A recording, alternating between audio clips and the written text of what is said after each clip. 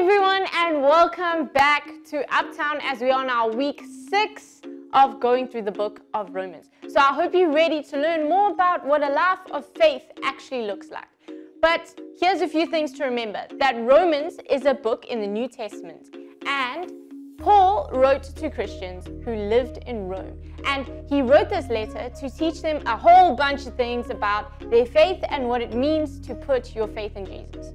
So, um, can you think of any words that rhyme with faith?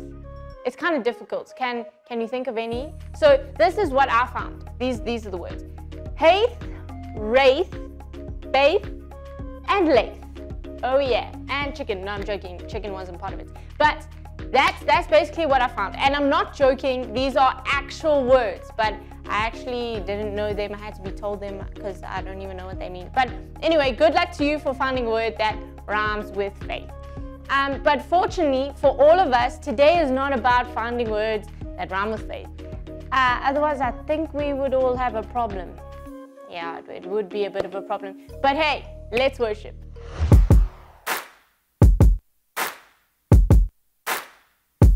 It's all about the gifts. It's all about the gifts. It's all about the gifts God's given us to bless. It's not for selfish reasons. It's not to make us cool. It's not to make us popular or be too cool for school. It's all about the gifts. It's all about the gifts. It's all about the gifts God's given us to bless. To bless all those around us. To bless all those in need. To bless those God has called us to, whoever that might be. It's all about the gifts. It's all about the gifts. It's all about the gifts God's given us to bless. It's all about the gifts. It's all about the gifts. It's all about the gifts God's given us to bless. So, what exactly are these gifts? Let me tell you. But first, are you ready? Prophecy. To prophesy? There's service. That could be my thing. There's teaching. Is that maybe me? Encouragement. Could be. There's also generosity hmm. and leading if you're called to it, but don't forget mercy That too? and do it cheerfully. We get to show the whole world Jesus. We get to be the body of Christ. We get to shine His light around us and make this life we're living count. We get to show the whole world Jesus. We get to be the body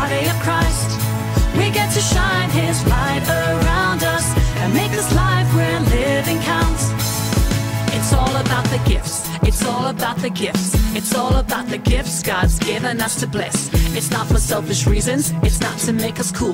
It's not to make us popular or be too cool for school. It's all about the gifts. It's all about the gifts. It's all about the gifts God's given us to bless. To bless all those around us. To bless all those in need. To bless those God has called us to, whoever that might be. It's all about the gifts. It's all about the gifts. It's all about the gifts God's given us to bless. It's all about the gifts. It's all about the gifts. It's all about the gifts God's given us to bless. Okay, I think I get it. Let's recap one more time. There's prophecy. There's service. There's teaching. Encouragement. There's also generosity and leading if you're called to it, but don't forget mercy. And do it cheerfully. We get to show the whole world Jesus. We get to be the body of Christ. We get to shine His light around us and make this life we're living count. We get to show the whole world Jesus. We get to be the body of Christ. We get to shine His light around us and make this life we're living count. There's prophecy. There's service. There's teaching encouragement. There's also generosity and leading if you're called to it, but don't forget mercy and do it cheerfully. Jump, jump, jump.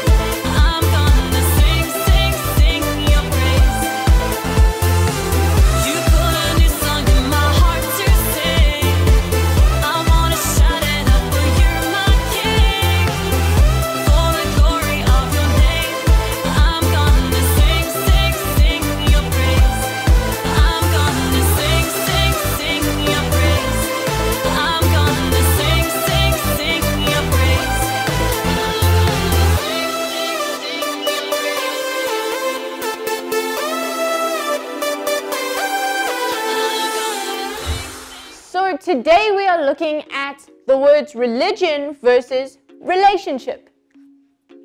Well, okay, it's, it's not quite like that. Well, it's sort of, no, no, actually, it's not like that. Um, has anyone ever heard of the word religion or relationship? Well, I'm sure you have heard about it sometime, but what do they have to do with our faith? Or more specifically, what does that have to do with us putting our faith in Jesus and being a child of God?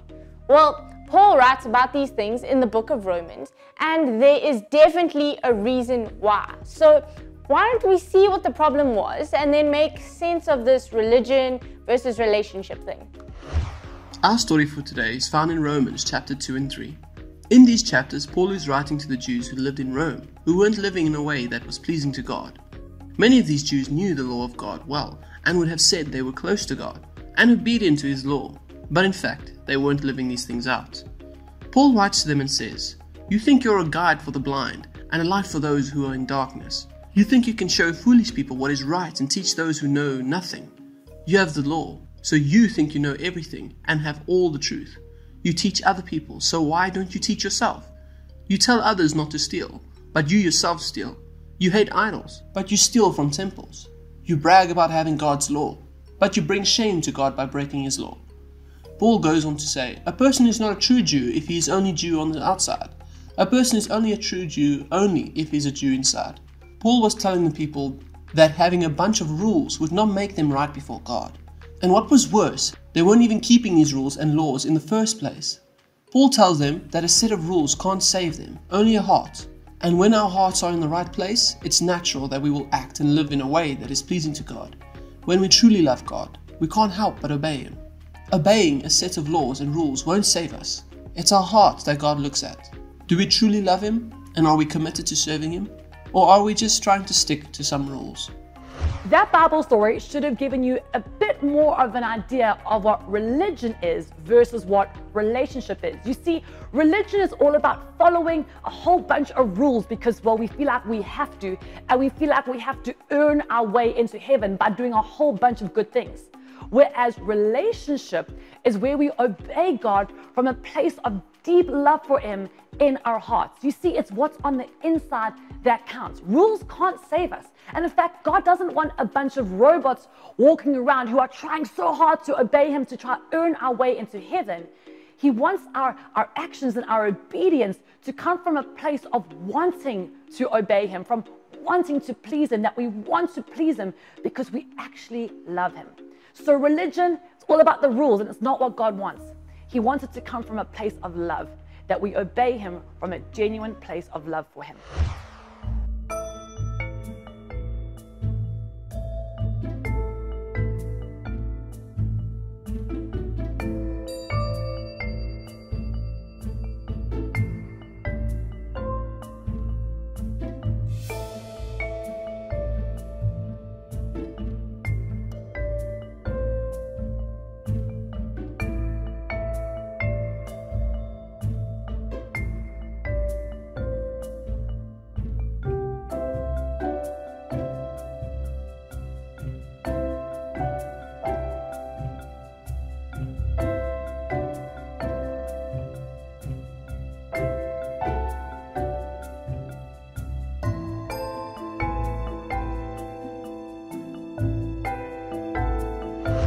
Now, I'm sure it's clear to see that that was not a healthy relationship. There was no real love and no real care at all in that friendship. It was one person basically doing a whole lot of things to keep the other person happy so that they would still be their friend. But if you look at this, it kind of looks a lot like religion if you had to compare the two, where it's doing stuff to earn someone's love. But now let's compare this to what a healthy friendship would look like.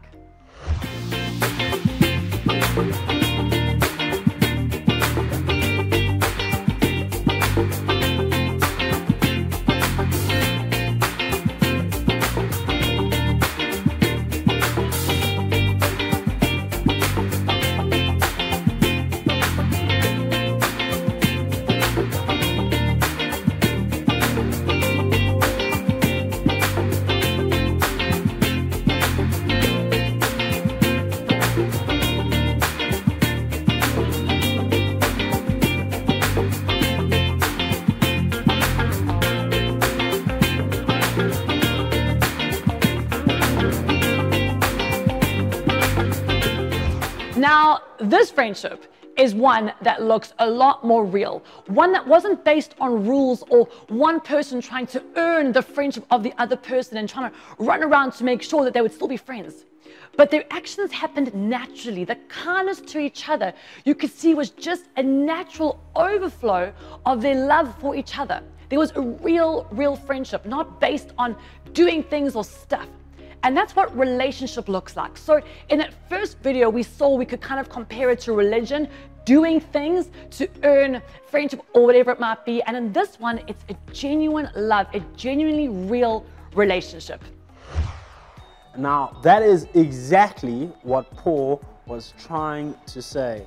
You see, Paul was actually a very, very clever guy. And you see, it says in the Bible that we need to show through the way we live life that we are Christians. And sometimes we may say it with our mouths, but we don't act it out in person. And when we do act it out in person, it needs to come from our hearts. You see, it's very easy to say we're Christians and sometimes act like we're Christians, but if we don't believe in our hearts what is happening, then that is a very, very sad place to be. Now, how do we get it to come from our hearts? Now, this is when prayer comes in. Now, we need to pray to God that He would come and help us to get our hearts for these things. You see, God calls us to act like we are Christians. But not only that, He calls us for us to have it from our hearts. So that when we do act, it's not necessarily us acting, but it's just us being ourselves. You see, we often have these rules um, that we try to, to, to put in for ourselves. But you see, rules don't save you. The process of having faith does. You see, are you going to wake up in the morning and be happy all the time? No. And sometimes it's very hard to act like we are Christians. But when we ask Jesus to come and live in our lives and ask Him to change our hearts, then it changes things. You see, when we ask God to forgive us for the bad things that we have done here and there, He really wants to forgive us, but only if we earnestly and honestly believe in Him and earnestly and honestly say, God, please forgive me for the things that I've done wrong, and if you're truly, truly sorry. Because we are often gonna mess up, and that's okay, because everybody is gonna mess up, but we just have to go and ask for forgiveness. But truly mean it. Okay, guys, it has come time for our memory verse for today. Now, by now, you should know it, okay? It's quite a long one, but it's been now, this will be six weeks of the same verse. So I hope that you have it. But now, just to help you out, I'm gonna give you a clue, okay? I'm gonna put the memory verse up on screen, but all the words are gonna be spelt backwards. And I'm gonna give you 20 or so seconds to try and figure out what it is. Are you ready? Okay, three, two, one, here it goes.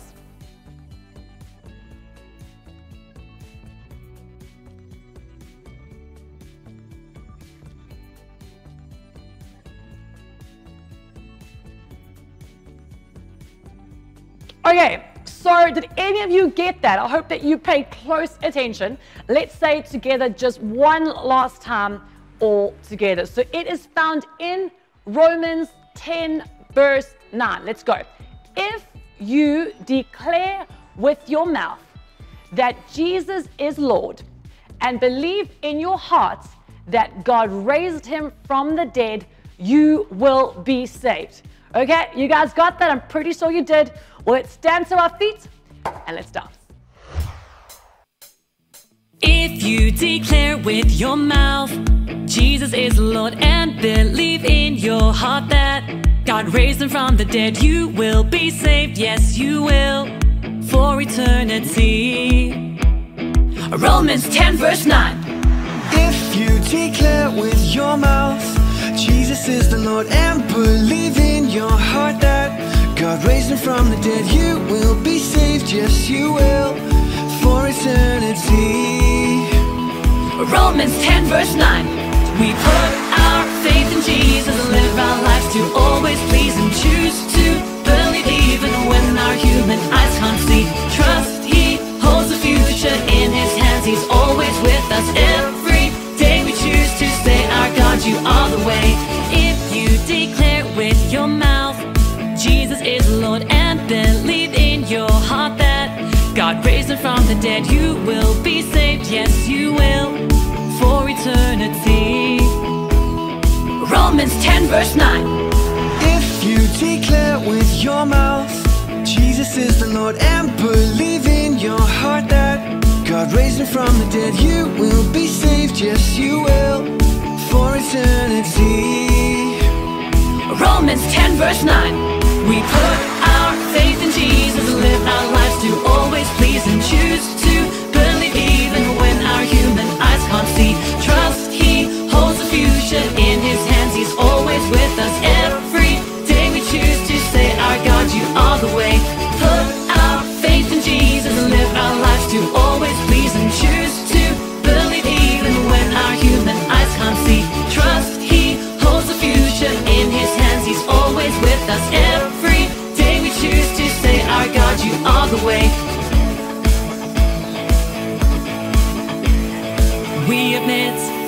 that we've got it wrong.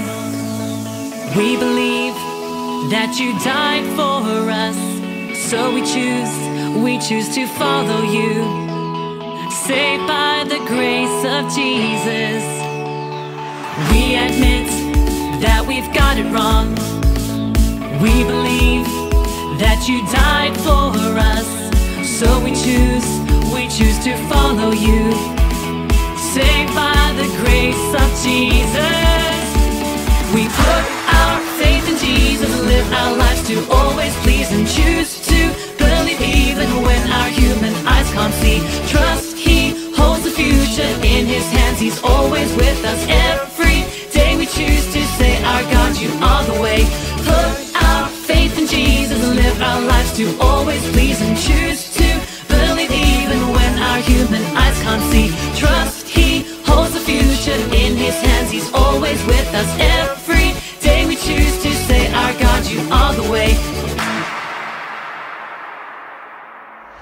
Maybe you've been viewing this Christian walk as a to do list of things that you guys have to do to gain God's love. Like maybe you feel like you have to go to church, you have to read your Bible, you have to pray, you have to give to the poor.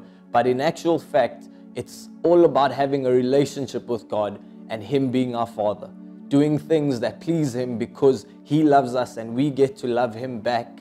And I'm going to pray now that we have that understanding that we don't do things to gain God's love, but that God loves us. And because of that, we can do things that please Him. So, Father God, I want to thank you that you loved us so much that you sent your Son Jesus. Lord God, I pray that we have an understanding and a revelation of who you are and what you did, Jesus. That we won't do things to gain your love or to please you, Lord God, but that we can do things because of what you've done for us. And I pray that you help us to accept this into our hearts. And I thank you for the forgiveness that you offer us. In your wonderful name, amen. You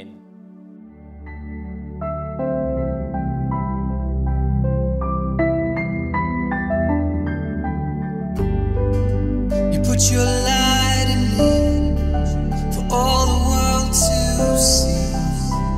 I'm gonna shine, I'm gonna shine, shine bright and free, and everyone will see your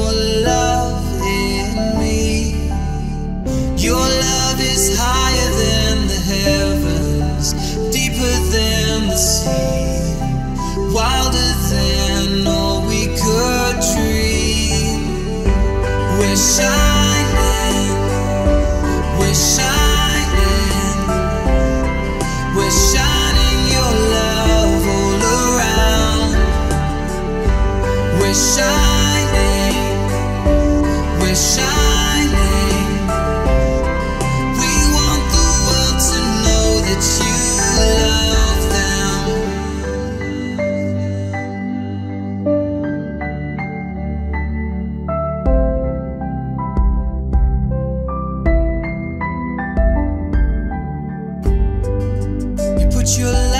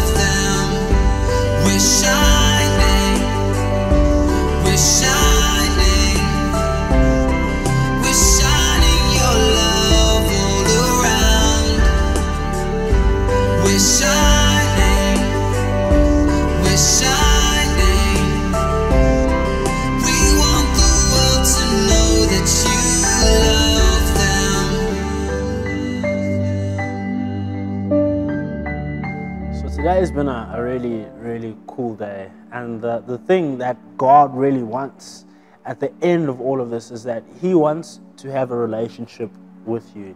He just wants to be more than a friend because He actually is more than a friend.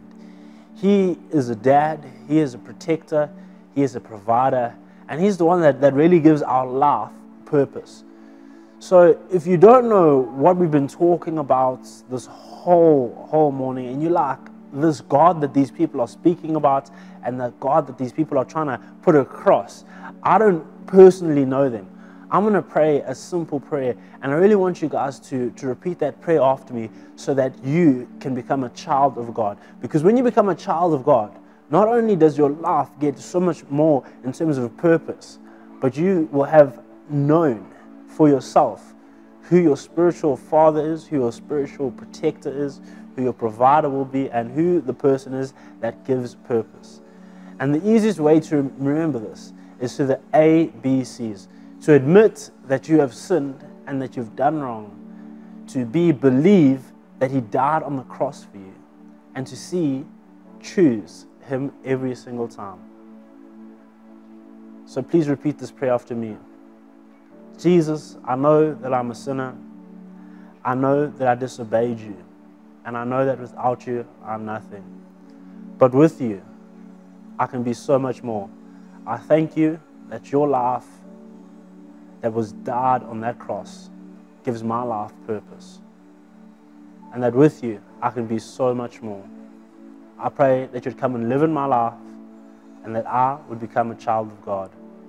I pray this all in your precious name. Amen. Alrighty, are you guys ready for our Sunday Fun Day challenge? Well, this one's gonna take some physical ability and it's gonna take some speed. So, I wanna ask you guys who thinks they can do the best cartwheel? Now, I'm gonna demonstrate in just a bit, but it's not just about doing a cartwheel, but I'm talking cartwheel races. So, what you need to do is probably find a space outside, or if your site's big enough, you can use inside. And I want you to line up at one end of the room. And I want you to race doing cartwheels and see who gets to the other side of the room first. But now, don't give me average cartwheels. You need to do them properly. If you cheat and they look terrible, your person there who's watching is gonna say, eh, you're out. So good cartwheels and the fastest person to get to the finish line. Are you ready? Let's see how you can do.